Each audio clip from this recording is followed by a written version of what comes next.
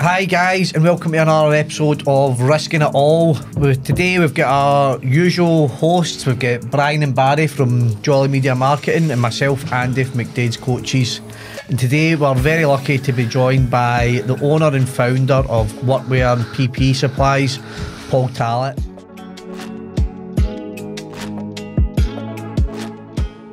So, Paul, I think you watch a wee bit of his show, so you know Yeah, yeah, yeah. a sort of general setup. So if you can take us back to your early beginnings and tell us a wee bit about your childhood and your education, mate. Yeah, thanks for having me on, guys. I appreciate it. Cheers for Big fan coming. of the show, so it's been a pleasure to be on. So, We yeah. finally found one then. Yeah, yeah, I grew up in Cumbernauld. Um, sort of average childhood, I think. A lot of the guys that have been on already have said the same thing. It's just Yeah.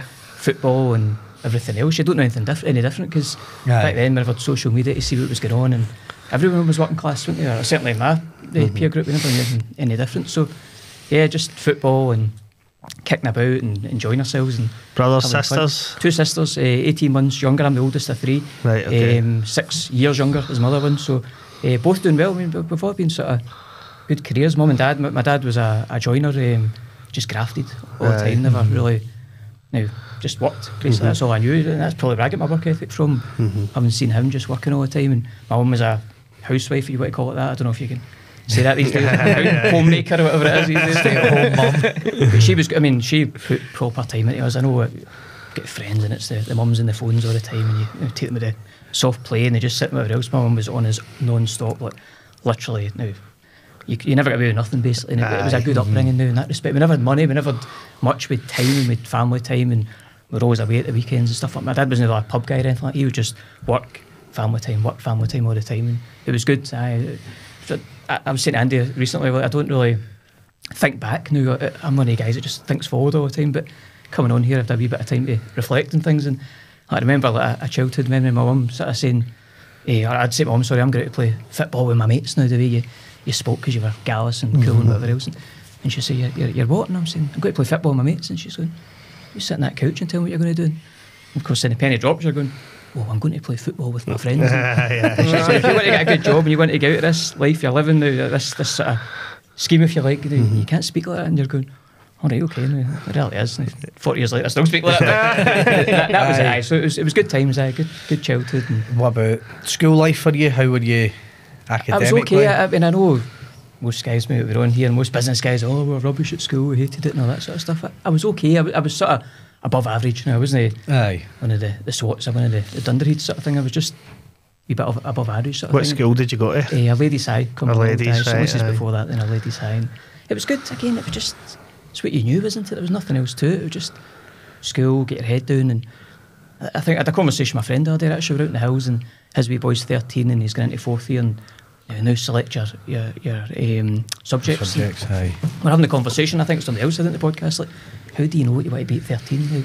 Like, just young and and daft and kicking about and playing football. And wh- what do you what do you want to be when you're thirteen? You, you don't know, don't you know? And, I mean, in my case, it was just work away, and I, I, I think I, I was quite into writing when I was young, with football reports and stuff like that. And Oh, yeah, right. Okay. so I get sort of pushed down that route, maybe because it was the only thing I knew, or the only thing I was good at. And Mm-hmm. probably the reality is, you know, these years later, work was the only thing I'm good at. But, but, but, yeah, went down that route. So I, I was in English, that was my thing, and I was pretty much rubbish everything else. And and uh, I went down that route and just worked hard. I, I done my prelims, remember prelims, and Aye, aye. completely flunked them. And again, I think I've heard other people saying it, like the education system.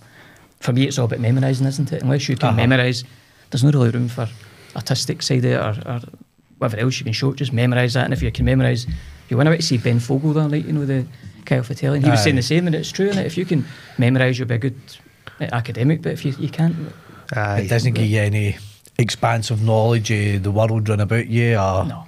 anything. It's just you memorise a set parameter on some subject and mm-hmm. regurgitate it. And we never travelled as well back to childhood. so, I mean, it was Scarborough and maybe Blackpool if you're lucky. We never had the money to go abroad and stuff. Like now you get a Rolls Royster mm. in it, you can go anywhere and see anything sort of thing. But but for us, no, we never had that. And, but I sort of flunked the prelims, made a complete backside dream and thought, oh, I better get my finger out here now.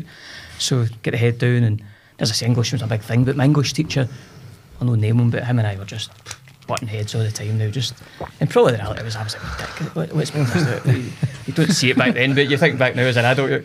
So, but it, it wasn't the best maybe teacher for me. So I get papped at the class. So he's like, listen, Fucking name him, man. Name him, name him. if we need to do this, we need to- Mr. Mallory, get up here. so uh, yeah, I get picked at the class and I get put in. Again, I don't know if you'd like credit foundation. Aye. I, I know you're a wee bit Oh, we younger- had wee bit younger than me. Foundation. So I was what three, I think. If there was eight levels, I was three. So Aye. like above average, as I said. That's good. Right, Uh, good. so anyway, I get papped at the class. So I get put into one, which would be rather all the clever guys were, for of a word. So um, I would sit there and I'd say, right, I am I, now, on my lines, I, I'm not a wee idiot. Yeah. an arsehole, all this sort of. So I sat in there for basically half the year because this guy Malin didn't want me in his class. Right. But of course, I'm watching all these guys who are the one, they were all intelligent guys, weren't they? But the teacher was teaching them. That was the difference. So I'm sitting there going, no wonder I'm low and this guy was just a psycho, you know.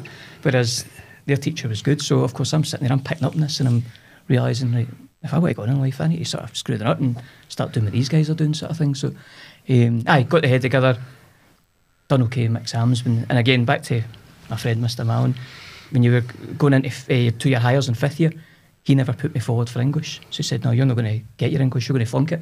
So you're not going to get to do your uh, higher English. Of course, I wanted to be a journalist, that was all mm-hmm. I knew. So without my higher English, I wasn't going to be a journalist. So I was raging mad at this, obviously. Mm-hmm. Um, anyway, I get my hires, I get my standard grades, everything's good, and then I go on to do my hires and everything else. And, aye, so that was it. So basically, finished school, fifth year, get three hires. I was going to go to uni to be a journalist. That was my logical step. Um, finished up, was it May, June, you finished school sort of Yeah. thing. Uni was starting September. Um, looking forward to it. Summer, here we go, party time now. I wasn't really, I never had a summer job or anything like that. I never had, oh, sorry, I never did a weekend job, paper round or uh, McDonald's or anything like that. My mates, I used to go to football all the time, so I couldn't do a weekend job. So I'd buy and sell computer games and you know, be Nintendo for a five or Oh, so. yeah, right, okay, And again, you think that you don't think that you're an entrepreneur. The reality was that that was probably the first steps of Aye. doing that sort of Uh-huh. stuff. So um, I had enough money to get me through the week, get the bottle of bucky on a Friday night or whatever else, and bottle of Merrydown. it. So that was my plan for the summer. I'm just going to sit and play football with my mates and have a good time, it sort of thing. And then my mum decided otherwise. She said, "No, you're going to get a job. You're not sitting here for May, June to September sort of thing." And so then you've got to enter the big bad world of the work, haven't you? And And what was your what was your entry into working life? What was your first, First job? of all, uh, again, back in the day, you never had internet, so you were getting the Evening Times or the Herald and cutting out the wee papers, the wee, the wee snippets, and applying for them, applying for hundred jobs, and then all of a sudden you got all these interviews. You're going, what, what job is it? I don't know. You put your wee folder in. Again, learning about now filing that sort of stuff. And so the first first major one, or the first one I got offered was uh, Scottish Power. No, user call centre boys, and again, you never had call centres back then. It was probably called something different, but um, went to the interview. I was just turned sixteen. And, uh, it was, I remember vividly, it was £110 a week, which was a king's ransom back then. Aye. Aye. All my mates were on like skill seekers or YTSs at 40 quid a week. And um, I go in, I do the interview and get my dad's now Bart Simpson tie on that kind of stoat in. Um, come the end of it, I, I think I don't know right there. And I go home, mum says, How'd you go on this? I, said, I think I'm going to get this job. And the phone goes and right, mum, mum says, That's the it's Scottish Power on the phone. And he says, Right, you've done really well. Um, going to offer you the job. And I'm like, Fantastic, aye. But because your age, you're only get £86 a week. Oh, I said, God. but the job was 110 pound a week. And he said, ah, but you're only 16 now. Other the rest of the candidates were older than you and more experienced. I says, well, why are you not giving them the job then? And again, this is something I've always had throughout my whole career. know your worth. No, you're You've got to know your worth, worth. And it- it's not a case of being cocky or arrogant. It's a case of being confident in your ability and your how you can conduct Aye. yourself. So I said, well, if I'm good enough, I'm old enough. So I want 110 pound a week. And this was like gas. Why do at 16? He's Simpson down tell her. And I says, well, if you're not prepared to give me 110 pound a week, I don't want the job. And she's like, but there's so many hundred people apply for this. I don't care. 110 pound a week, I don't want it. She's like, well, we can't give you 110 pound a week. So that's fine. Hung the phone up. Walked back through the living room. Mum says, how's you going? I never get the job. And she's going, but in my mind, I'm still thinking, I've got to someone to drink Bucky and, and Berry down my house. So anyway, I got another opportunity. It was a company, I, I should have said, I was doing internships for the journalism. It was like, a week at a time, Yeah. two weeks at a mm-hmm. time. Uh, you'd go to the local paper and you would they would give you like articles to write. Again, pre-internet, you'd press a wee button that said send to editor, which in reality was probably the internet back then or a- an email. Mm-hmm. Mm-hmm. And then, but you were writing all these articles, and then you'd see it in the paper the next week. Oh, I can't wait to see my article now. Your name in lights, but oh, written by Joe Bloggs. I said, I wrote that. But he was taking the credit, obviously. Ah, right, So you'd go and do that for two weeks. You wouldn't get any money, and at the end of it, you get a Parker pen.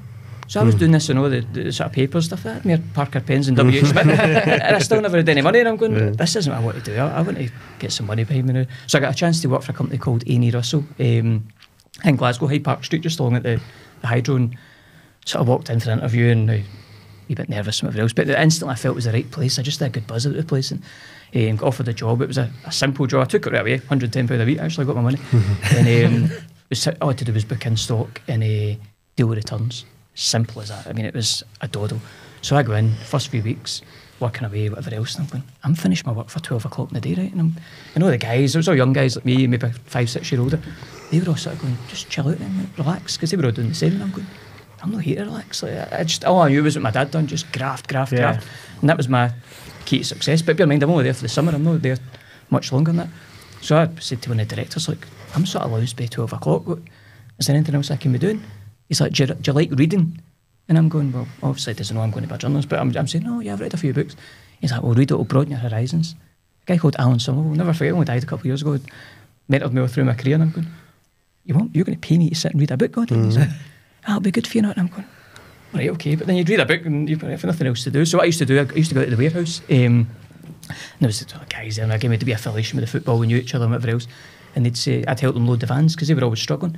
And I just grafted and lifted stuff, and I knew the products because I was going at the back with the returns. So I knew the difference between a sledgehammer and a claw hammer and all that sort of stuff. But again, you learn quickly because the warehouse was massive. So they would say, go and get me 10 PJ 996 batteries. And you'd come back with the wrong battery, and they'd go, that's the wrong one. You go, "Fuck, I need to run all the way back up to the far end of the warehouse. So you learn quite quickly know what to do. So I'd done that for a couple of months. Um, and then, of course, they realised maybe something I never realised that maybe I had a wee bit of something. And so they promoted me to internal sales on the phone. Uh, that happened within, I don't know, about a month or something like that. And wages went up again. All of a sudden, I'm another 50 quid a week. And I'm going, and I start thinking, do I want to be a journalist here? Because I'm earning serious money here Yeah. compared to all my mates. And um, I was doing that. But the downside about that is there was about, I think, six people in internal sales. So everyone that phoned wanted to speak to them. They didn't want to speak to me because they never knew me. So I became a glorified receptionist. And mm-hmm. I'm sitting there going, this is murder. All day. Can I speak to Jackie? Speak to Alan? Speak to Alan? Speak. Can anybody speak to me? I'll take your order. No, no, don't want to speak to you. Aye. So there was three guys in the counter. So we sat in a sort of window behind the counter, and these three guys would basically there would be a queue at the door. The place was heaving, and everyone would come in and get their contractors' tools and whatever else. And um, I'd be sitting there now just watching this unfold. So they would queue for about an hour, get served. The guys would put a delivery note on the, the counter, press a bell. The guys would come through for the warehouse, make out the order. So the queue went from there to there, and nobody was getting served. And this queue was just getting bigger and bigger and bigger. But meanwhile, I'm sitting there with nothing to do. So I had the experience of the warehouse to go, I'm going to go out and help these guys. So I basically out started making up orders and, and giving them to all the customers and you know, bringing the queue down a wee bit. And one of the guys in my office are saying, What the hell are you doing? Like, that's not your job. And I'm going, But nothing else to do. So again, that gets recognised. And I said to all my Yeah. staff, Look, don't think it doesn't get recognised. If you're working hard, people would recognise it. If you want to come in and do the bare minimum, by all means, you earn the Ah. bare minimum. But for my mind, it was all just graft and push and push and push, push all the time. And effectively, that's what I'd done. And that was That makes sense, and that's that's some really interesting advice for your man there about just read a book. You know, there's not many folk that would, you know, take take that uh, sort of growth mindset and go and like, go and develop yourself on my money, definitely aye. which is really good. And then that, for there, it sort of developed. That, that's what got into my workwear. Eh, so it got me into workwear. They had a workwear company as well within it, and a workwear section, which was next door. So I need to be careful what I'm saying here because there was a bit of dodginess going on at the time. But they said to me, look, there's two guys running it. We're not happy about how they're running it. That's all I really say without mm-hmm. go to jail or going to get sued. so um, you go through there and sort it out. Now I'm 16 years age, bear in mind, right? And I'm going, mm-hmm. I don't even know what that means, right? So I go through and um, again, a bit different to how it works these days, but you never email and everything. So guys would come in with an order book and they would write down, I want 10 pair of boots, right? Then you would send the company the invoice and they'd phone back and say, I need a, a, a copy, of the, copy of the order and a copy of the POD. So your guys had never filed orders for two years. So I basically went in this office and just spent a month filing all these orders and getting them all sorted. So again, people recognise this guy's come in and solved a major, major problem for us. So I was doing that for a long, long time and uh, got up to speed. There was a bit of jiggery pokery going on with an account with Adidas of all places back then, Helly Hansen.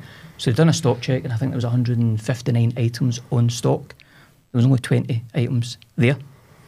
ah, right, okay. So I think you see where this is going. so all of a sudden they pull in every single member of staff in this workwear section, which, of which there was 12 of us. So I get pulled in, they said, um, yeah, we're giving you a written warning because there is stock we're missing. And I said, but I never stole the stock.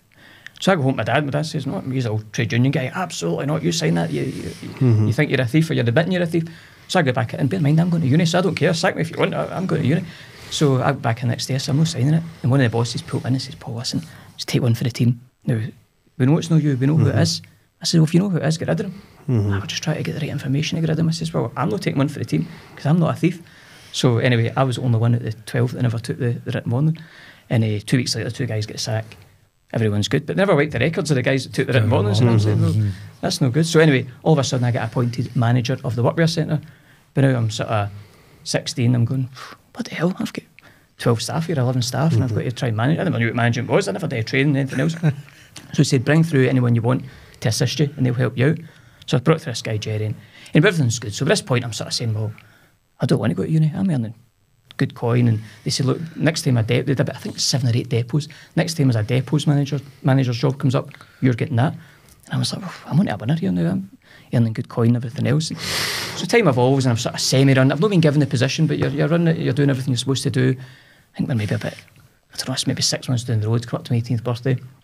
All the guys want to take me out for a night out, you know, partying, whatever else. That's the priority in your life at that point, is mm-hmm. So they said to me, you need to work Saturday because they never cover or something. Mm-hmm. And I said, I'm not on Saturday, I'm going to out, it's my birthday. Like, the most important thing in the world. And I was going to football the next day.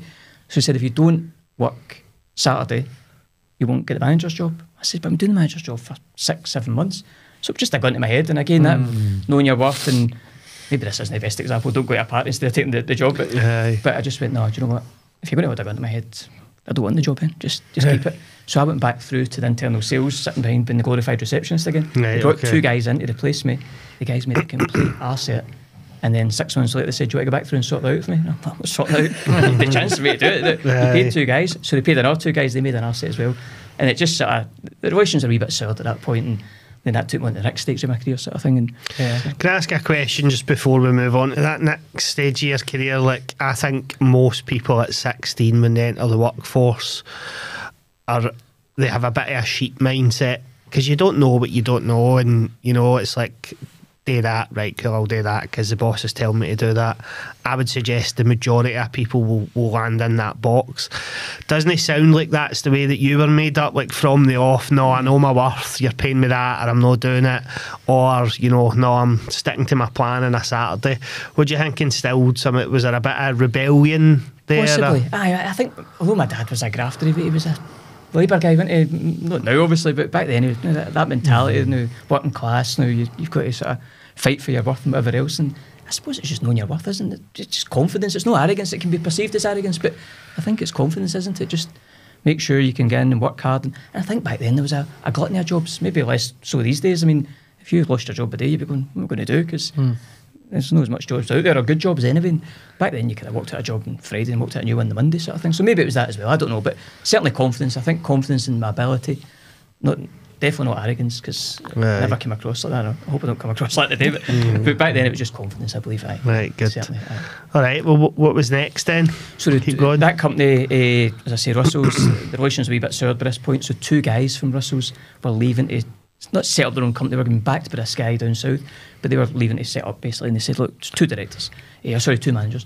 Do you want to come work for us?"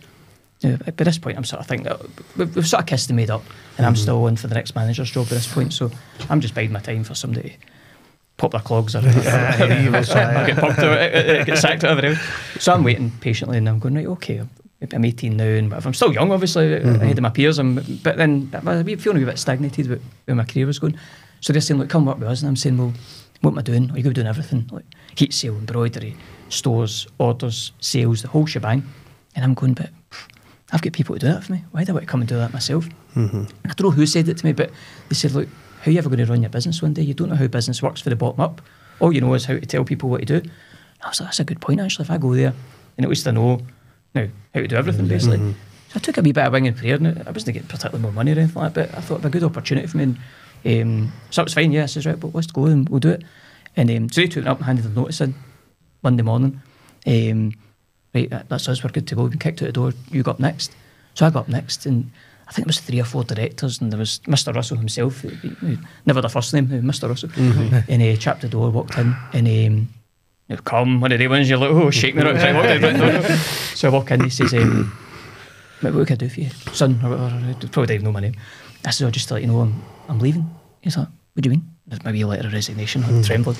and he says, um, where are you going? I said, I'm going to go up with John and John, the two guys I mentioned. And he, he says, oh, yeah, no. I says, no, I am. And he's like, go to my office. So I go the way back downstairs and I'm in the office and everybody's saying, How'd you go in then? I says, I don't know, I've still got my letter. Did you resign? I says, I think I did. but- I tried. so that was fine. So I wait the next day, got up, chat with doors, same routine, come, walk through. Mr. Russell had the told you yesterday, go away. So I got away downstairs. So these guys are then phoning me going, Paul, how, are you coming? Are you not coming? Because they think they're obviously going to throw everything at me to make me stay. And I'm going, well, I don't know. I- I've handed my notice and We'll just walk out. I says, I can't. I've got a month's notice and I've got this. You've got to be professional. Aye. You never know how things are going to turn. Day three, same routine. He's like, Paul, I'm telling you, you're not resigning. Go away. I don't know how many days we got to, but anyway, I get pulled in by one of the directors. Listen, you're not going anywhere. You're on to a promise. Of course, I'm still going on about what happened to this. I had to work a Saturday and whatever else. So they're like, look, it's fine. Would you want to stay? I says, I really don't want to stay. I just want to go. And, and then, of course, you start thinking, maybe I should have stayed and whatever else. But mm-hmm. I had a plan. I wanted to learn and whatever else. And um, next week, another director gets me. I says, maybe like seven or eight days into this, I'm still not allowed to resign. Mm-hmm. And then finally, the sales director got me. At the time, I didn't drive. And I thought, the only way, I, if I said I wanted to be a salesman, but I didn't drive, they can't make me a salesman. So mm-hmm. I was going to say they were making me a salesman. That's a great idea in my head, right? Mm. so the sales director pulls me in, right, Paul, what's it going to take for you? You want to stay? I said, I don't want to stay. I'm going to be a salesman at this company. I get me a car, they'll get me this, they'll get me that. He's like, you don't drive. I'm like, I know, but they're going to put through my drive. and. It was all just fabricated, none of it was happening. so he says, right, I'm going to go and speak to Mr. Russell. I'll see you tomorrow. So the same routine. He says, great news for you. You're going to be a salesman with us. I'm like, oh. he says, um, Rob, this guy Robert's going to take you about, so he'll train you you get your license. He says, but if it takes longer, there's a wee guy called Malky who's a handyman. He'll just drive you about. He'll be your driver. so I've got nowhere to go. Have I? I'm, I'm sitting there going, oh, wait, I can look back. He says, listen, okay, let me think about it. Of course, then I go back. I'm like, "Oh, what have I done here? So I say, listen, I've made a backside of this. I don't want to be a salesman. I've just lied to try and get it.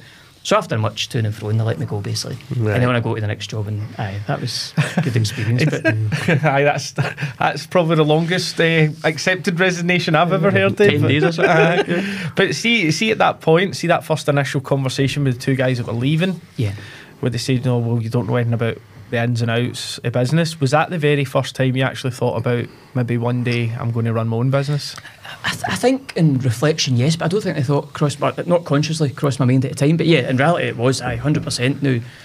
I didn't know that. I didn't know anyone had businesses now. I know your dad obviously did and whatever else, but I was all my pals, mums and dads were taxi drivers or worked in factories. Uh, You never had people at businesses where I came from, and I remember a lot of financial advisor who I still use to this day. Actually, his son took over the business, but he used to come and see us and he'd a sports car. We'd all be running out chasing the car. Like, we'd never seen anything like. We were all running about in Cortinas and mm-hmm. Ladas and Skodas and whatever else back in the day. You just never seen that. But no, in reality, to answer your question, yeah, I suppose it was. That was a penny dropping. Yeah, definitely. So you go to this new business, this new venture that's set up with the two guys. You're, you're then at the coal face of it, do, doing the do, as it were. Is that really where you learn the trade around workwear and, Aye, and and- PPE? And you just, there's only one way to learn, isn't it, on the job? And from my perspective, and it, it can be quite complex now with certain things, but you just learned. You were doing everything, every single thing of business.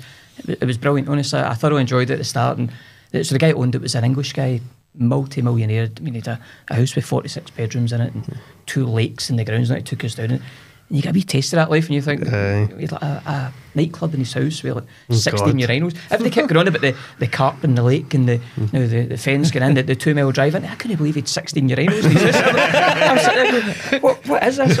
but, aye, so he owned it, um, but we were left to run ourselves, complete autonomy. So these two guys were basically running it, and I was the, the other guy. And we grew and we had more people involved and everything else. And, and uh, So was that the same company I met you in? yeah, that had been in Bellshill. Do you remember it? Or was that no? No. No, I I had only ever been down to Blantyre. Right, so that was the next one. That That's the next this, one. the first company's called Workwear and Industrial Supplies, not to be confused with Workwear and PPE. um, so we call it the first Workwear because that's how it played out, sort of thing. But yeah, so that went well, and it, we done it. It- it- There was a guy. Um, it's funny how life turns at it. I bought this guy's house. Would you believe? He subsequently died, but I'm in the house that he lived for a number of years. There was this guy at the company in Cumbernauld, um, and he was trying to poach us basically, for want of a better word, because he could see what we were doing, this small business in Bellshill. Um, and the guy, the English guy, had multiple businesses, so we never really much involvement with him. We just got on with it. So this guy in Cumbernauld, I don't know name him, but um, he said, "Why don't you come work for us?" So there was this two two directors, myself, and a couple of other bodies at this point. So one of them was really keen to go. He liked the sort of glamour and the lifestyle, and this guy in Cumbernauld had the fancy house, the fancy motor, fancy watches, all the all the things Aye. that John wanted basically. Whereas I was a bit, I could see it as a bit more. He was a bit of a Right, he was right, well, tell you, so no, let's swear, eh? No. He's a bullshit basically. so, so I could see this a mile off, right? I, I just, you know, the tight or that smoothness and whatever Yeah. else, and I'm saying, I don't want that's not for me. And so anyway, John was right into it. He says, Look, you need to come with me because John and I were quite close and families, the wives and that were close. He was 10 years older than me, 12 years older than me. And he said, um, right, I've got his, I've got his deal. I'm all right, what's the deal? We're going to work for this guy. All right, aye, okay, well, that's what you're doing. What, what am I doing? Oh, you're coming with me. And I'm going, all right, okay. So we met the guy, we- well, within my rights to meet him, and I spoke to him, and I'm like, nah, he's not for me. He's just, just a bullshit, as I said. And, hmm. and he said, right, I'm going to I'm going to make you a director, right? I think I was maybe 21 at the time. And I was like, well, I'm not about titles, I'm about money. So mm-hmm. you tell me what, what you're going to give me. And okay, I can't remember the exact number. He was giving me four grand more a year than what I was on. And I said, that's great. And I company car, and I had a company car, and he said, oh no, you don't got a company car. I said, well, so you're asking me to work for less then? Back to what I'm mm-hmm. saying, know your worth. Mm-hmm. And he said, no, no, no, you're, you, you know, you've got four grand more and you're going to be a director. I said, so I can run about with less money until after I've got a wee card that says I'm a director on it. No chance. So this went on for a, quite a bit of time. As I said, our John was desperate to go. The other John, two Johns, he spoke to him as well and he's like, nah, it's not for me. But he says, I know you'll go because I know you're friendly with John. I says, well, I, I don't ba- base my business decisions on friendship. It's based on my worth and everything else. And so in between times, the guy from England, his name was Vic, um, phoned me up and he says, um, I need a serious word with you. And of course, I'm going, mm. oh, He knows, he you knows. he knows uh. He said, "Well, you've been talking to this guy for Cumbernauld." I says, "Well, I'm well within my rights to talk to anyone. I'm not mm-hmm. a director of the company. I'm not you now mm-hmm. contracted to you. I can talk to whoever I want." I says, and I'm, I says some options. I'm sure you have. You never became a multi-millionaire with your 16 urinals without bloody talking to people. And he says, "Oh no, no, no, I understand that." He says, "So I've spoke to John, the other John. He says, and I've just told him to go. If he wants to go and talk to him, he can go. He was a director, so there's different rights as a director. as mm-hmm. I know. And I says, well, okay. He says, so where does that leave me with you? I says, well, you tell me. If you want me to go, I'll go. If you don't, now, I don't want to go. And he says, well, I'll tell you what, um, I'll give you a six grand wage rise to stay, uh, a directorship, just I think I just done 22, and pick any car you want. I think it was up to about 10 grand, which back then was a bit of money as well. I'm like, okay, if you insist. so uh, stayed, aye, and away we went like a train sort of thing, and John and the other John and I fell out, which was a wee bit uh, sad. But anyway, that's business, isn't it? You've got to make your own way in life. And, and on we went. So it was me, John, um, the English guy, never really involved, got involved with. us. We brought in more staff and we sort of grew it. Then things went a wee bit pear shaped further down the road because the, the English guy had a, a lease on a big unit in Aberdeen uh, for 25 years. It was costing him a million quid a year. We never had a business up there. So he wanted to open a business, a, a- branch of us in Aberdeen and use our name. So at this point, he'd emigrated to Thailand and oh, he sold up all his businesses and he was just sort of dodging away. So, he, but he still he couldn't get out of this lease. So he, brought in this guy from Aberdeen and told him he would be managing director of our company, effectively my boss, right? Mm, right, So okay. going, all right, okay. But I didn't, never knew this, right? Because I was on holiday. So John, the guy I worked with, my fellow director, went to a meeting and was told this, but never told me because obviously I'd be going, right, that'll be right. I'd be straight to phone him out. So this went on. So this guy Steve gets involved, and um, the MD of the other company, the parent company, had came Vic still in uh, Thailand, and uh, they took us out for lunch, but took us in separate cars, right? I'm going, mm. you know where this is going to. Aye, so this guy Steve, the guy from Aberdeen, says, "Oh, I hear you're the man that runs this company." Then I says, "Well, it's myself and John." No, that's not what Vic tells me. Mm-hmm. Divide and conquer, and it was just trying to split us up. And I'm going, okay. So uh, anyway, he tells me that away. I want rid of John. Vic wants rid of John. I'm going, oh, here we go again. so I'm like, right, okay. So through time, that effectively happened. It was horrible, and it, it's one of my sort of lowest moments in my my career because. I was used as a ruse to get rid of John, and it shouldn't have been like that. It was mm-hmm. it was completely wrong. We, we'd sort of we'd explored setting up our own business at this point because, as I say, Vic was selling all his companies and assets, 54 companies, and his plan was to keep us. He never told us that. He just went to Thailand and sold all his businesses. So we could see the writing on the wall. So we went to explore about setting up our own business, stuff like that. So that was used as a ruse to get rid of John. Well, as a director, you couldn't have done this. And there was other things as well, but and I get caught out. He basically um, called me at a meeting. He phoned the office, says, where are you? So I'm in the office, he just phoned it. He says, um, meet me at the uh, Bellshill Farm. So I was already okay. So I meet him at the Bellshill Farm and he says, um, I know you've been looking at setting up your own business. I says, well, again, I'm assessing some options. He said, I'm going to give you three options. I'm going to shut down the branch. Uh, I'm going to, sort of thing, uh, sack everyone. Sorry, sack you. Uh, or I'm going to, you want to help me get rid of John? And I'm going, oh, God, you get 30 seconds to make up your mind. And that was the lowest point in my life. I remember going away, I was going to be mini cruise thing to Norway, and I remember sitting in the back of the boat, just seeing the sort of riptide Right, going, I can't believe this is happening. What have I done here? And it was horrible, horrible situation. So I can never trust that guy. So anyway, John ends up leaving.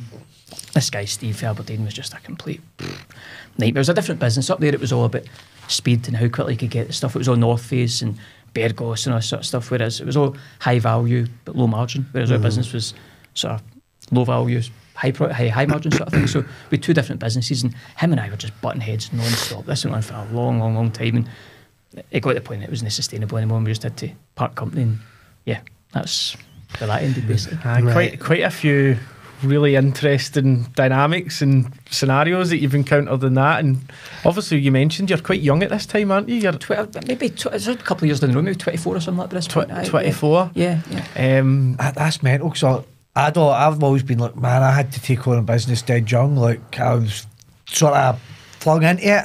You know, but yours is ridiculously young. Do you know I mean ridiculously young, and we we folk actually fucking McKeevy and try to backstab each other. That's It's just tough times. It, but it, it gives you a bit of resilience and a bit of resolve Mm-hmm. as well, doesn't it? You just sort of, I don't look back at it. This has been a bit of a journey for me just to think about these things and you just just keep going forward all the time. And it's just, eh, I went to a show the other week and the guy said, I can't remember the, the exact expression, but basically, if you're looking back, you're not living the present. That's the, the crux of it. And you've got to live in the present and the future, obviously. Aye. Plan, especially in business. especially. quite quite uh, I definitely agree with that but thinking about you those those different parts of that journey you were on right it sounds like you, you dealt with some really different personalities or like from management all the way up to ownership anything looking back in that that you've taken away from a positive trait of the managings you see and a negative trait what, what, what's your takeaways for dealing with these type dealing of with people, people in it, uh, you can.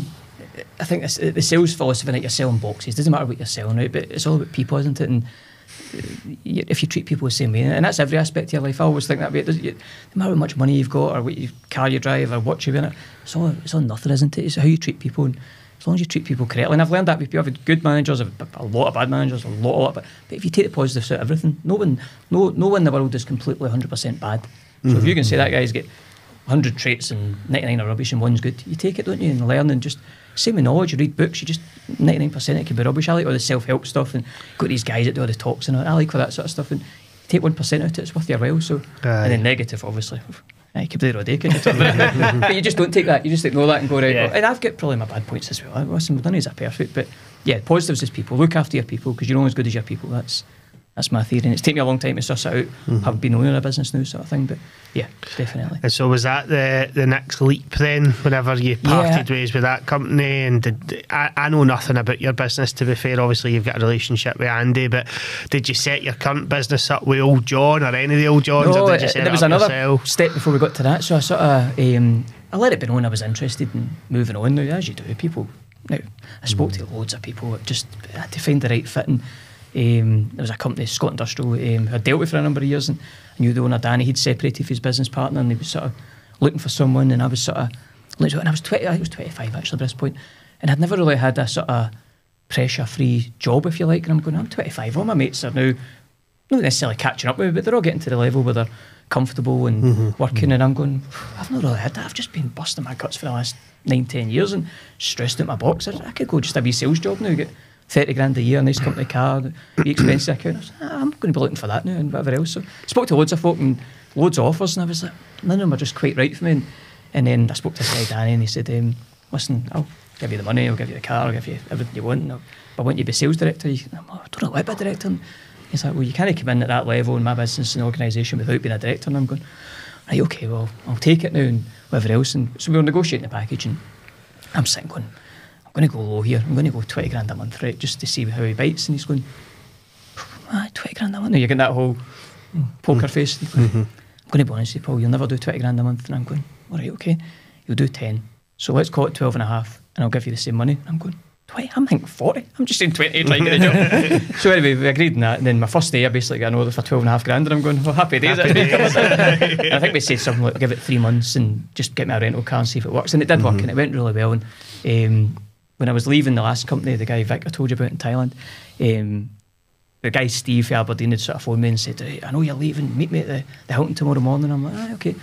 He said, I've told Vic you're leaving and he wants you, he doesn't care, he's wanting you to leave. I said, that's good, I'm not trying to use this as a ruse to get more money. And ah, you've done it before and that. And I'm going, that's okay, I'm definitely leaving. And uh, anyway, I left it, next minute fixing the phone for Thailand, but it was a really bad line. And back then he's going, so he's emailed me, Paul, what's going on, why are you leaving? I'm like, Steve's already said he's told you this. And he's like, no, he's not told me. He's like, um, what's it going to make for you still? I'll give you 30% of the business, 60 grand salary. And I'm sitting going, Mm, God. Oh my god! it's back to the Mr. Russell had in your notes again. I'm going, oh, I don't believe it. But again, you've got to make up your mind, and you've got to say, right, you, you've got to be a man of your word as well, haven't you? Your, your reputation's everything. And there's, a, there's a way of making quick bucks in life, but equally you've got to be strong your reputation, everything else. So I'd committed to leave and, I- and I left. So the irony is, Vic then said, look, if you're leaving, I'm shutting down Aberdeen. I'm getting rid of Steve on the back of this.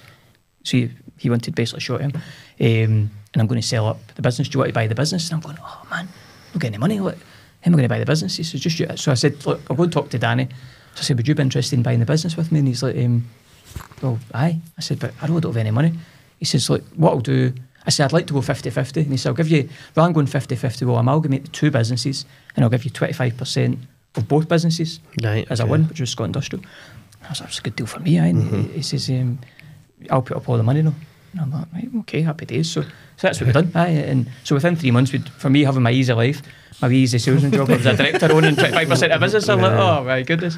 Um, but aye, that's, that kicked off for there. And aye, when we went. And what, what was your decision process like with that? Because obviously that deal sounds amazing, right? Yeah. But this is another new personality coming into the fold, another entrepreneur, another business owner. Were you quite confident that you know you got a good feeling about that, Danny? Wasn't it? Yeah, Um, yeah. Was he? Did you just think it was right? Yeah, I knew him. I mean, I knew him for maybe nine, ten years before it through Right. business, obviously. Like I would just say, Andy. And, um, and he, was a good guy. He was, he was quite a, I don't know, this guy, quite a large in life guy. Now, very gregarious and everything else. A good guy and a, a connection with the football and everything else. So no, I knew it'd be fine. I, it would be, be good. And away we went. We went away like a train. Actually, we just kept doing well. We had the two companies, and we were going to try and put them into the one premises. And at that point, my wife Caroline, who's again, she's coming in at the back end of this, but she's a massive, she's partner in my business, the business we're in just now, and she sort of got involved. So um, the company Scott Industrial was very antiquated with their systems. It was all handwritten delivery notes, and I'd go and get big contracts with South Lanarkshire. And the guy before me saying, Paul, we've run out of boots, and we gave you an order for 100 pair of boots. so I'd phone the office, and the guy Ben would go, Yeah, it's taken me forever to handwrite delivery notes. so you've got 100 pair of boots there, the guy wants them, you've got them, you can't put them in a van because you can't handwrite it. So Caroline, my wife, came she, was, she worked in scaffolding, she was very uh, high up, and um, she was a PA to uh, board director at uh, Interserve, big company in Glasgow. Right. And uh, she came in, she had all these great ideas, revolutionise the systems and everything else. And downside with that, Danny was very sort of chauvinistic and wasn't particularly keen on women who were strong and well about themselves. so that I wouldn't think go she was the well. flavour with it. That was always an issue for her and whatever else. But so she came in. So we, we basically put two businesses together, and away we went. And we'd done that for maybe nine years. Grew the business dramatically, and on it went. And we'd done really, really well. with big contracts: North Lanarkshire, South Lanarkshire, Malcolm's, the uh, haulage company. McDade's Um, coaches. McDade's coaches, Uddingston, uh, your local uh, coach company. for Don't school plug him, contracts- man. Don't, he doesn't need contracts any others. I've already established that he sleeps in a bed of money, right? He doesn't need any more.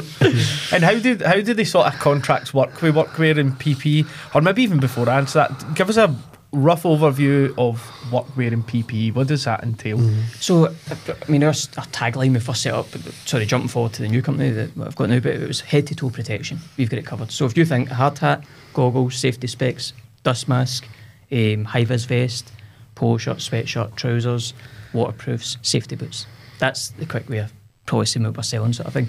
And with that comes the branding, now heat seal, Yep. embroidery, um, and that's what we do basically. So, in, the, our business evolved a wee bit more. I'll tell you about that later on, but um, but that was it basically. You get in a company, every user wearing it, you wear it, everyone, everybody wears workwear, don't they? In uniforms Yeah. and, and PPE, obviously personal pe- protective equipment. Everyone needs that these days. So Yeah. Yeah, that's basically. it. Brian Brian normally slags me for this, but I like to stick a logo in Oh, it moves. So I- Definitely. there's some, there's some custom God, coming your I way. bring, I could bring my way into the office, right, and see if you leave her unattended for 10 minutes, she's got a GIMM logo on it. People, people logo anything that you leave in the office.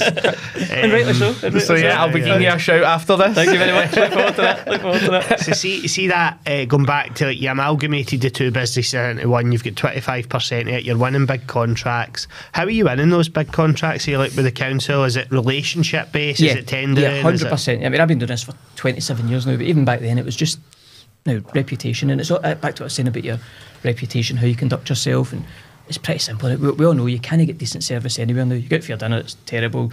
You phone up a call centre. Terrible. But you do, don't you? You phone your doctors, Aye. you're 99th in the queue, you'll be Oh, served aye. in the next two hours, and nobody's got time for that. So it's, it's very simple. Give us an order, and it's the last you'll hear about it.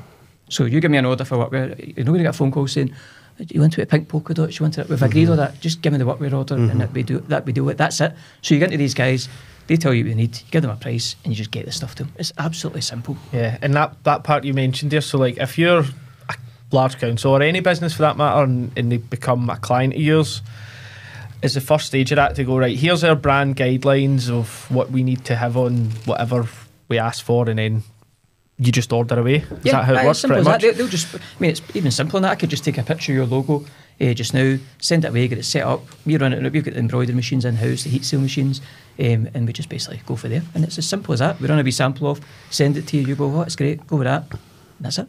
We just put it in the code. It's really simple, but it's simple because we've made it simple. My very first sales call, um, way, way back in the first workwear company, as I call it, I went to see this guy, George Duff, and I'm friendly with son to this day. And very intelligent guy now, been in sales his whole life and really, really good guy. I take him on my wee sample bags and that now, thinking this is what you do. I've never been trained in my life, going to see him. And he says, Paul, I'm going to give a wee lesson in sales. People are lazy, people don't want hassle, make their life simple. And I was like, hmm, be penny drops and whatever else. So, what does that mean? Well, it means you don't need to tell me that's a bottle green hoodie, code 1234, blah, blah, blah. Paul, get me the same hoodies you usually get me. You phone one of our competitors, market leader. Hi, I'm here. I'm Paul for Workwear and PPE Supplies. Um, who? What were mm-hmm. PPE supplies? Account number, one, two, three, four. Right, can I order 22 polo shirts? What polo shirts? Mm-hmm. The ones I usually get. What code, please? See what you mm-hmm. got. See you later. You phone me up, Paul, going to give me 50 of my usual polo shirts, my usual logo. I don't need to send you a copy of the logo and everything. Just make it simple. I've never realised that that wasn't the way all workwear companies worked. Being totally on it because it is all, like we've always just that. I need a new guy's workwear. I need this is these sizes, or we need twenty t-shirts. We need trousers. Like I just thought that was No, it's How- murder. how it Yeah. Like Ba- Barry's been trying to sort hats for this podcast. Yeah. We know how to come to now, so we'll have a chat after Said it freezing earlier on, so definitely doesn't have it. Honestly, see the hassle. How many have they come back to us with? Like three or four. said- That it's like, what about that? No, that's not what we want. That's not what we asked for. Or so it's like we're saying we want branded beanie hats. Right? Couldn't it be simpler? So it was like, no, it wasn't the beanies. It's sorry, bobble it's, hats. it's bobble hats. We want Aye, branded bobble hats. Or we don't have them. What about beanies? We don't want beanies. We want bobble hats because he's obsessed with bobble hats. Right? I don't know where he's Collection of bubble hats. right? We can be about bubble hats after this. Um, definitely. We're hang about after this podcast. but it ends up hat like, see when you're running, I know it sounds jovial, but see when you're running a business, right? It's like I don't want to be talking about hats here. I'm busy, Yeah, yeah, as yeah, you said. yeah, I just want to send me the fucking hats. Yeah. Like, And that's what we do. Just make it simple for your Yeah. customers. Like you know your customers first of all, know what they want. We've got a system, and we've got thousands of customers, but we've got it's all in our system. We've got this sort of history system where you type in polo shirt, you know exactly what polo shirt they get. It's all there. And if you're really that fussed, send them a quick confirmation, they'll check it. Yeah, it's good to mm-hmm. go. But make customers' life simple. It's Yeah. absolutely fundamental business. Now, you get in a shop, you don't want to stand debate But with an with a checkout guy. Oh, can I have this bottle of beer or this lettuce? No, just make it mm-hmm. simple. That's mm-hmm. that's the key. Yeah, I mean that that example for us couldn't agree more about simplicity. But I think I've eight eight emails back and forth, and see if they just said after the first email, we don't have it. yeah, yeah, yeah. So you said it. Back in, uh, probably jumping a wee bit onto the, the new company when we set Yeah. up. But I, I remember driving to work during Lord COVID. I was still doing a wee bit then.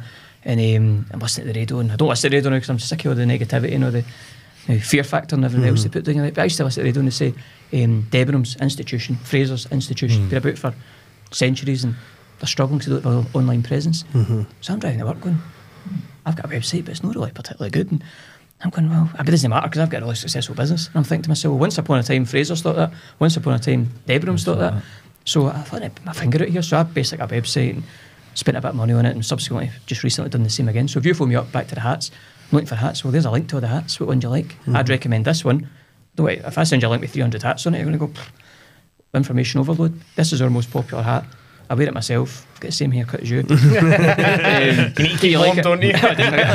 so then you would just go, okay, go with that hat, Paul. And that, that's it. No, or I would say, I'd recommend this hat, and here's a link to all the hats in case you didn't like that one. Yeah. And that's effectively what we done. So that's, that's Makes So, what, sense. uh, just coming back to your story, then, what what took you from being twenty five percent owner of that business to now your your current setup? Saw, we took it quite far, the company, and it was doing really, really well. And uh, the guy Danny was 57, I was 35 at this point, and um, he was obviously seeing the way out. He wanted out. He was. I couldn't afford to buy him out. I was on a good life. We loved travelling. We lived off kids, so we we're living the life. We were spending as much as we were earning, travelling all over the world, living high life, whatever else. So maybe never saved as well as I should have, sort of thing. So anyway, he was trying to sell the company and funded my feet as well. I add. So that left a wee bad taste. And back to what I was saying a way back about people. I'm one of the guys. I'm 100 percent most loyal guy in the world. I would run over burning coals for you, but the minute you shitting me, I'm sort of done, sort of thing. So the relationship was a wee bit tarnished by that point. My wife Caroline was getting a right hard time in there because nobody could really get to me, but they could get to me through her. If, uh, again, I like going about it too much and poor me, but she got a hard time, and she was a really intelligent person, done really well for that company, and it, it did rankle me a wee bit. So a lot of things happened, which I'm not guilty because it's all just he says, she says, and whatever. Did they not even sit you down and say, look, I'm kind of, I've got one foot at the door here, I'm trying to sell, I can either do that with your support or No, just tried never. to do it I just tried to do it, and it was three times to be honest. And people, I've got a good reputation in the industry, so people are phoning me, telling me. Oh, God. So by this Aye, point, I'm that's not a great position to be in, aye. So I called at my meeting, and um, I missed a big key part of my, my business because a woman called Mary used to work with us. Um, she was uh, her son died in South Africa, so I was sort of surrogate son, and she really mentored me all the way through my career. And so she was now working for me at Scott Industrial. I took her everywhere I went, sort of thing.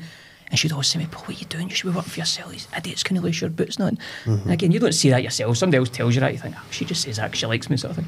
So she kept saying to me, you need to set up yourself. And she was the driving force. If, without her, I wouldn't have set up myself because I, I was going seven, eight holidays a year, living the life. I didn't need to work mm-hmm. for myself. I knew I'd give all that up if I worked for myself mm-hmm. because, again, back to people say, oh, work for yourself. Oh, you'll make loads of money. Well, if you're in business to make money, well, it's going to take a long time to make a lot of money. If you're in business to get a better life and work less hours, well, that ain't happening either. If you want to be a successful business, I hear all the time, I'm going to, I wish I had set up like you, Paul. I mean, I, I work too many hours. I'm going, how many hours I work? Nine, nine years down the road. Um, but anyway, so Mary kept saying, to me, you need, to, you need to set up yourself. And it, now, this was all happening. This, these were the thoughts that went through my head. I'm going, right. So I called him to a meeting and we used to meet in the Hilton all the time. This was our showdown at the Hilton. And I says, listen, I know what you've done. The trust is gone. I says, so the only way this is going to work is we build it up to sell it. I want 50% of the business. Mm-hmm. He's like, no, this is because at the moment if I leave, you don't have a business. You know that, and I know. And uh, probably from his point of view, and somebody said that to me these days, I'm like, how the hell think you are? But the reality was it was the truth, and, and so it mm-hmm. proved. So he says, right, okay, well, I said, I'm not putting up any money. I want 50% of the business for nothing. Because what I've done is taken it from 300 grand to 2.1 million, and that's pretty much with me and my mm-hmm. people, my wife, and everything else. So he was a bit like, "Pff, how do you think you are now? But through time, he probably thought about it and said, right, let's do it. So we went to meet the accountant. I'll never forget, stay as long as I live. Mary had bought me a, a pen, probably any Parker pens. I had loads of them. anyway, uh, best way I didn't have any, so I got my Parker pen. So we went into, it was West Regent Street in Glasgow, big fancy offices. I'm buzzing, I've got a wee Parker pen in my pocket and get my 50% share of the business. Here we go now. So accountant comes in. I'm sitting there now, we've got fancy crockery and the fancy, uh, what do you call it, kettle and all that sort of stuff. us. So I'm buzzing. He says, um, I never forget, I could verbatim what he said to me. This wee annoying voice. Right, Paul, um, just to let you know, um, no one in history has ever got 50% of business for nothing. I'm going, all right, okay. So Danny's sitting there with his head down. And I said, um, but he said he's given me 50% of business for nothing. So irrespective of what anyone's ever done in history, I don't care about it. We've agreed this in principle. He said, well, it's not happening. Um, so what we're going to do is give you 45% of the business for 50,000 quid. And I says, but I don't have 50,000 quid. He's like, well, that's your problem. He says, because let me give you a wee lesson in business, right? So by this point, I'm not. Oh, oh, God. He says, We've got partners in here. If you want to be a partner in here, you need to put down 100 grand. I says, I don't care about your business. Your business is completely irrelevant to me. Your agreement is this. So he says, Well, it's not happening. So by this point, I'm like. Now, a few profanities, a few things getting thrown about. Now, off a. I would have fucking threw the accountant through a window. I think that Parker pen to get bounced off his seat. But, uh, Aye, aye. so away I went, and by this point, I'm done, right? I'm like, this is. Uh, uh, but I had nowhere to go. And I wasn't going to work for anyone else. I wasn't giving away any equity in the business, so I knew I was setting up myself. So I said to my wife, right, he'd done, let's just get saving. So we saved up that whole year, basically. I had about six, no, 20 grand actually saved up. And I says, right, come the new year, we'll make moves, sort of thing. And um, I said to her, let's go to, we're going to Canada, let's go to Canada, one last big holiday. Buy all the clothes you need for the next two years because all we're going to do is work for the next two years. So we went to Canada, had a great holiday, blah, blah, came back and um, I said to him, look, listen, it's not working. I need to go. I'm not going, I'm not going anywhere. I've not done anything. I don't even know where I'm going. Obviously, I knew I sent myself. Um, but I'll, I'll be away by March. So that gives you three months to make your moves and do what you need to do. I says, but I'll not be here. And then he's like, okay, whatever. So the relations got a bit strained, as you can imagine. It wasn't particularly good. Mm-hmm. And then my dad, he was working for me, so I knew he was retiring eh, in February. So he retired. He'd done a wee bit of disservice to my wife, doctor wages, which again, I'm not getting into. It's all just he says, she says. So I said, right, this is our moment. You hand your notice in. So she, she hands her notice in. And he, he's absolutely, what the hell's going on now? So he says, "Well, well, Caroline's leaving. I says, aye, she's leaving, aye. What did, didn't know what to say. Mm-hmm. I says, I'm going next. And he's like, oh, we need to sort this out. You're going to buy the company off me and whatever else. I said, I can't afford to buy the company off you. Let, let's sit down. You had your chance. It's almost into it. It's like you could have sorted it amicably. Sorry, again, I'm not I'm, I'm invested now. big time. What talking then? But again, no miscalling him because he was a good guy and he, we worked well with a good relationship. This is the way it ends, and it partnerships generally don't work in business because people are going in different directions. So he was a good guy. We we got on well. I'm no bad mouthing the guy whatsoever. It just it was just time to go. And um, he's like, right, okay. So we we had numerous meetings and kind of had a month's notice to work and everything else. So I'm sitting going, well, this gives a month to get our affairs in order and what we're going to do, sort of thing. So she starts exploring, setting up the business, getting things moving, everything else. Um, then he said to me, like, if you buy the business, so I was like, I think it went to 300 grand off me, which would have been a steal, in fairness. Um, but you need to make all these guys redundant who I didn't want, i.e., him and the brother and the wife, and that was 130 grand. And I want a, a I think it's a five year lease in the unit at 30 grand a year. And I'm going, that's a 600 grand package for a business that I can set up myself with my 16 grand, albeit it was going to take me a lot longer to get to where I was. But, Scale up. but I wasn't going to have to pay debt for the next X amount of years. Excuse me. Um, so I said, no, listen, it's just time to go. Let's just shake hands and be gentlemen about it, sort of thing. And, and off I went. Aye, and well, I literally, I think I was due to finish. I can't remember the date. Well, our nine year anniversary was the twenty third, which was the weekend. There. Is that nine years? Nine years, aye. Jeez, oh. Phil he'd have given it started. You remember me ahead So anyway, decided we're setting up ourselves. Um, we'd got to be a wee unit in Airdrie, which we're still in. We, we spoke about it earlier. We've got big plans this year. Um, and we, I finished up the Friday. My wife wrote me. I said, "That's me finished. I'm out." And she's like, "Do you mean you've got another three weeks' notice?" I don't know. And she's right. Well, I've got the keys to the unit. And I remember literally driving for my last day, a bit emotional, whatever else, and mm-hmm. having left. Drove straight to uh, North Lanarkshire Council, got the keys for the unit, drove up, walked in, and the place was an absolute shithole. And I'm thinking, I went from being a director of a company, I'm in serious money, Right. and a Saturday morning, sweeping floors, cleaning toilets. I'm going, what the hell have I done and that was us. On we went, and literally, we just, we've never looked back. It was the best decision I've ever made, the hardest decision I've ever made. And Aye. It's still hard. It's still hard every day of the week, but I wouldn't have it any other way. It's Yeah. just been, been a graft. And what was what was sorry, that? What was the? So obviously you mentioned straight into sweeping floors for your directorship, and was it just you and your wife that Yeah. started? So at the time, I had a, an Audi A7, right, big fancy car, and all life was amazing, whatever else. And I says, right, we need to get a van. So we've only got 16 grand. That's our mm-hmm. operating costs and everything we need to get going. So we traded out in and got a van. I think I made six grand out of it or something. I had a 50 grand motor, walked out with a 17 grand van, made six grand. out of it. Doesn't make any sense. But again, they knew that obviously. So just the two years, and I says, right, what we'll do, I'll go out all day, do the sales, do the deliveries, you take in all the deliveries. We'll just dodge it. We'll do 400 grand a year, we make a good living out of that, we'll be, we'll be okay. She's like, oh, we could do that. I was like, aye, aye, no bother, piece of piss now, whatever else. Day one, I'm out delivering. Order, order, order. Everybody wanted to give me orders. I think we took over like over 300 customers in the first couple of months, and I'm going, this is going to be an absolute Is that just existing relationships, Existing- yeah, basically? yeah. All the guys I dealt with for all these years, just they want to support you because see if you're a good guy. Back to what I was saying earlier on, see if you just treat people right, people see you as a nice guy. And it, it's probably hard for me doing this because I don't really see myself as this big businessman earning mm. loads of money. That's all. It's a byproduct of success. As I said earlier on, if you're in business to make money, you're doing the wrong thing. You'll make money as mm-hmm. long as you do the right thing, and that, it's taken us a wee bit longer to maybe do that, but we've done it the right way, sort of thing. So yeah, I'm out doing my deliveries and see my customers, and I come back at night and Caroline says to me, right, you've got uh, 23 deliveries tomorrow, and I'm going, I've got eight customers to see, I've got appointments. I need to cancel them all. So I think we're about six weeks in it. She's ready for divorcing me. I'm stressed at my job. She's like, we need to take a driver on. So, right, okay, so we get a driver. Took, poached one of the guys for the other place, took him on.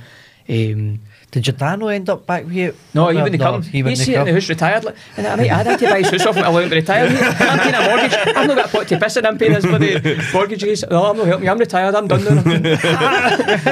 so anyway, I've not got a car because I've obviously my car was my van. So I'm Aye. uh, going. In fair, my dad gave me a bit of dough and I went and bought a car. And, uh, my young sister, she, before she's always had good cars. I've always had good cars. And we're up to I think it was Perth or something like this. We um, Clio. We, uh, Mhm, thing. Renault It- it- Clio, it was a nice wee motor. And I remember driving down. She's going, "This is a fantastic car." And I'm like, "Shut up!" I said, "Okay." Sitting there trying to pump me up as a Clio. But again, I've got a wee thing, and now you clean your mileage and stuff like that. And I've still got it on my phone. Eh, still got it on my, my desktop, and it's expenses for the Clio. And I look at it, and it always reminds me, don't, don't forget where you came from now. You can already have a nice cars and this crap, but you're only a bad week away from get back to being that motivates me as well. And um, so anyway, we took him on, and then we took another couple of guys on, and what I should have said, the first month, we- I think we projected sales at 15 grand in our first month. So we're like, that, that's okay, aye. First month sales, 55,000 quid.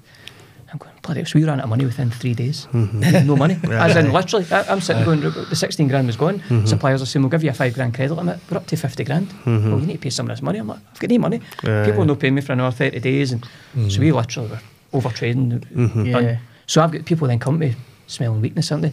Accountant, I'll give you 100 grand for 50% of your business. Pal, I mean, I'll give you 50 grand, no, eh, 100 grand again, 50% of your business. And I'm going, I'm not giving away any equity in my business. I, I, I've been there before. I don't want to be in that position I was with the other guy.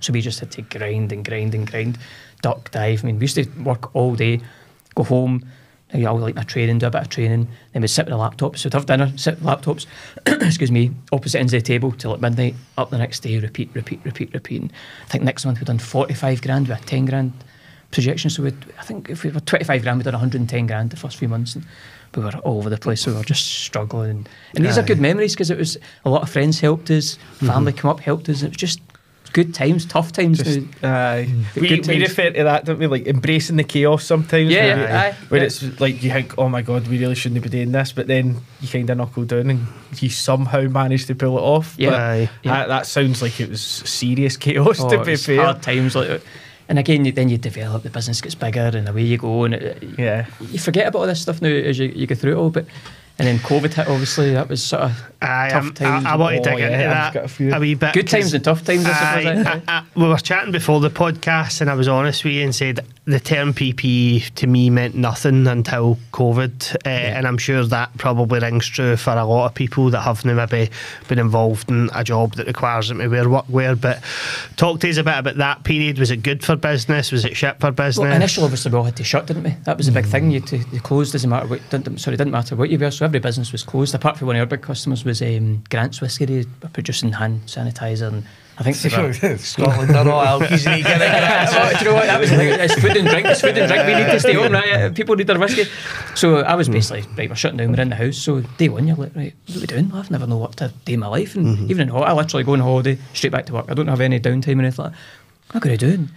And Probably don't know if we went touch or no, but I went to Everest, as you know, Everest Base Camp. And so I had a wee journal and I went to write a book. So I wrote my book about Everest Base Camp. That was two weeks. So I went, right, that's the first two weeks done. Happy days. What am going to do now? And um, How was Everest Base Camp? it was good. That was you good can't, I was going to say, you can't just like drop it. I went to Everest and wrote a book, but what happened? You're going to Well, do you know what? I should probably that one's for Mr. Malloran, uh, the teacher. Aye, uh, you, aye. you never amount to it. But I wrote a book that sold thousands of copies on Amazon. So cheers, thanks, thanks for the, the motivation for that.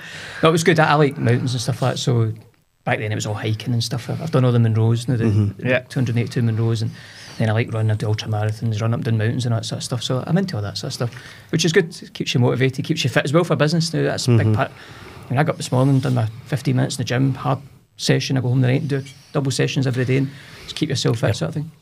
You're, uh, you're a host, so have take the same care. Bit, bit like yourself. see, I, I, I can see you as a When racer.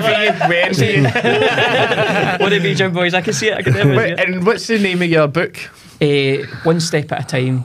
My journey to Everest Base Camp. Nice Right, okay. So, uh, and I would encourage you to buy it, and it, not as a plug. Every single penny of profit gets sent to Strathcarron Hospice. Every single penny. All right, so I've good not made you. a single penny out of it. I've, uh, every single. That's amazing. In profit. So they've fairness, made- my dad said it was a good read. Did I? I, I oh, got God. it this Do you know what, Christmas I- one year. I, don't, I know we'll talk about this. Obviously, it was a business podcast, but uh, uh, uh, I've always wanted to write a book.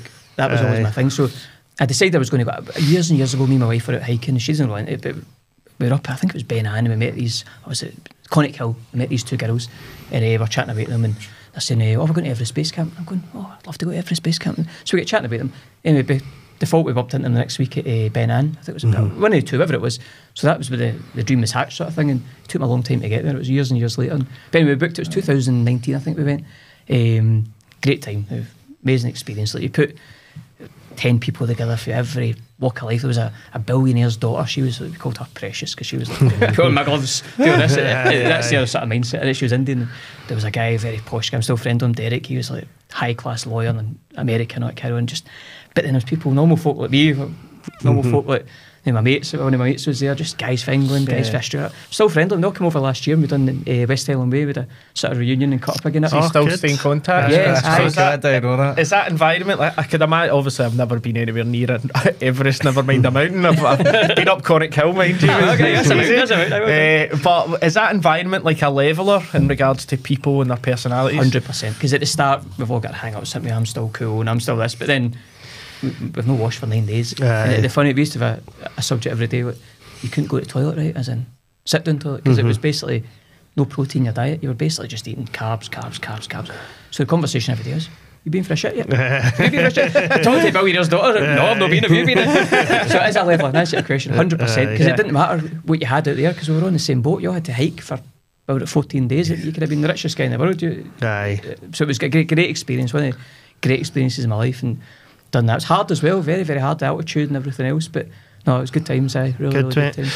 Well, listen, as always, co- conscious of time, I could genuinely talk to you all day, but I want to make sure that we leave time for you to do a bit of a plug. So, talk to us a bit about current performance of your business and what does the next three to five years hold for you? But we're doing well. I mean, it's back to us saying about COVID. and the COVID was good for us because we had products, we had everything else, but we never ripped anybody off. That was the absolute key to our business. Some of our suppliers did rip us off, blatantly ripped us off. Mm-hmm. We said to everyone, look, situation's this. A box of masks just now is 50 quid.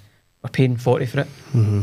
They should be two quid, but we can't help the situation we're in. But if we treat you all fairly, we give you a good price, make sure you look after us at the end of this. That's absolute key because we know jump, jump through hoops and everything sorted. We want your business at the end of this. So we've done that. We looked after everyone. Since then, we've just grown strength to strength. Loads of new business, big contracts. People that we helped out during COVID rewarded us with big contracts. We're just doing what we've always done. We, we do different things. We get into big companies and say we'll measure your staff up, we'll measure your feet with specialist machines and stuff like that. So that's we added things, prescription eyewear, all that sort of stuff. So we've done Ah, that, right, okay. and that gives us a wee bit added value. We don't really charge anymore; it's just in the price. But we're not the cheapest, but you're getting added value, and that's what we offer. Um, but to answer your question, I- we bought new premises for the business, so we're going to massively upscale what we're doing. But we've been sort of restricted where we are. Don't have a lot of space. Make and do. We make and do for about seven years now. But Mm-hmm. so we bought new premises that will be finalised hopefully next Friday, and then the world's our oyster. We can just go as Good. high, far. There's no real plan because Mm-hmm. we don't need a plan. We just need to go right. Let's get in the premises, and we've got the scope to do whatever we want. I mean, we're going to be like four or five times size what we've got just now. So Good. going to be good times ahead. Exciting times. Many Brilliant. folk have you got in your business? 12, now? sorry, 10 at the moment. so- We're looking for someone and we're up to 12 till we get to the new place. And we might even push it up a bit higher. We we could do with more. We could Aye. definitely do with more. So it's exciting times. And how, how do you find just ma- managing the team? I don't, my wife deals with it. Do you know too busy climbing mountains. I'm too busy climbing mountains, exactly. I wish I. No, uh, she deals with all that. So, I mean, it started with the both days, and then she's got a better. She's a good trainer. She's got a good manner. I'm a bit more sales, and uh, again, if I'm dealing with that, I can't be dealing with sales. So I'm sales that side it, solely sales. I'm persona non grata in my wee office, so they're just rattling away my emails and sending out links to the website and stuff like that. She deals with all the guys, so she's fantastic. She deals with them and looks after them. We've got a great team now, and we're taking them out to Arden next month. We've got a we had a magical figure this, this year, so I'll take them away for a jolly and massages and beer tours and all that sort of stuff. Good. So reward them. But again, back to what I was saying, look after your people, your people, your Aye. business. Without your people, you don't have a business. It's mm-hmm. simple as that. And you know what? I love that tip that you've gave there around like COVID times. It would have been dead easy, I would imagine, to go at the cost of the cost, pull everybody's pants down. Yeah. But you've been pretty clever about it by the sounds of things. Long game. generally Yeah. that way? It's like still margin there to be made, but we'll look after you and stick by us. Definitely. And you know, I never touched on this final. I know you're want to finish up, but during COVID, one of my customers phoned me and he said, um, at the time I'm feeling sorry for myself. Oh, but we can't go out, we can't work, we can't do anything. And I was running by his house and he said to phone me and I said, "Oh, I'm just running by your house for enough one of these ones. And he said, um, why are you not working? You're a PPE company. I says, well, we're a workwear company does PPE. He says, it's the same thing. Said, I'm going to give you a wee lesson in business here and it's brutal. And I'm like, okay. He says, my dad had a plant hire company when Lockerbie happened. And I was like, okay, where's this going? He says, and he phoned every member of his staff and says, get every bit of plant we've got down to Lockerbie during the night because we were going to be busy for a year. He says, but he mm-hmm. lived in a caravan, he lived in B&Bs, he sold his business a year later for two million quid. Mm-hmm. He's like, this is your Lockerbie. And I was quite offended this. I was like, Aye, I can't believe you said that. That's, that's brutal. And do you know, a couple of days I thought, you know what? He's right. That's right, This is my moment. I'm a PPE mm. company. I've got 20 odd years experience and I'm sitting in the house feeling sorry for myself. Aye. How I can't work. So that's when we kicked in and away we went for the and we, looked after everyone. And as I say, we never ripped anybody off. That was the, the key, thing key, for us. Aye. Good, mate. Well, listen, uh, amazing talking to you. Congratulations on the success of your, I guess, couple of businesses thus far. Sounds like the future's bright, but it's been great to talk to you. Um, we'll wrap up there. Cheers, every day for listening in. As always, catch us again next week with our next guest. Give us a like on all the socials and all of that fun stuff. And check Paul and his business out. We'll be sure to link your business and all the posts that we do. So thank Cheers, you, mate. guys. Thank very you. much, Thanks mate. very much. Thanks, Cheers. guys. Have a good Thanks, one. mate.